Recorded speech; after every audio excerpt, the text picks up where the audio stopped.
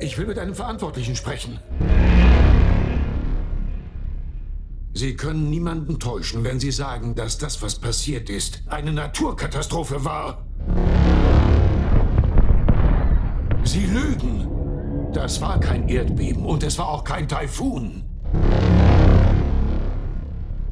Denn die Wahrheit ist, dass Sie da draußen etwas verbergen.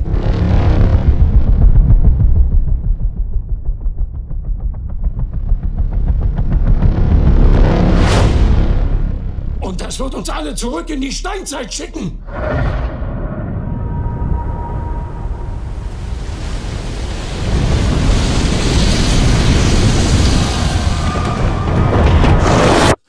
Gott steh uns bei.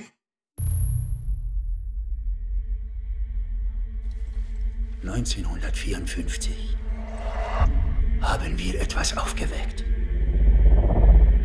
All diese Nukleartests im Pazifik waren keine Tests. Sie haben versucht, es zu töten.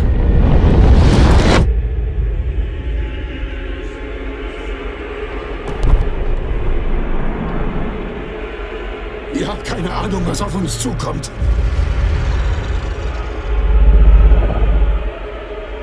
Können Sie es töten?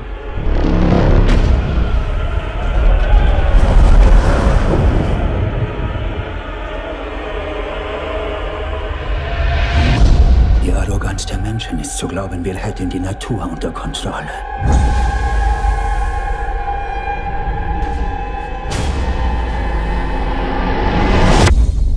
Und nicht andersherum.